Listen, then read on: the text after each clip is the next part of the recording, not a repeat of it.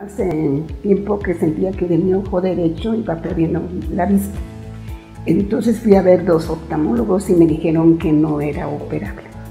Yo ya me estaba, en las tardes casi no salía porque sentía mucha inseguridad a pesar de los lentes y me caí una vez, entonces dije no, ya, necesito oftalmólogo y platicando con mi hijo, él fue el que me recomendó al doctor Me sentí segura desde la primera consulta. Y eso es muy importante para nosotros como pacientes, sentir esa seguridad de que vamos a estar. El, tanto el tratamiento como las de cirugías, no tuve ninguna molestia, ni antes ni después. Todo mi recuperación fue muy buena.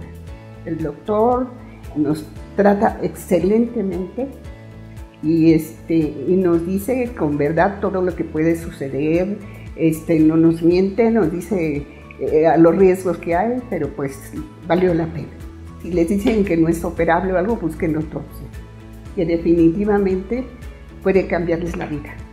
Ojalá y pudieran acercarse con el doctor Juan Pablo Olivares para ver sus problemas de salud de sus ojos, porque es un excelente médico.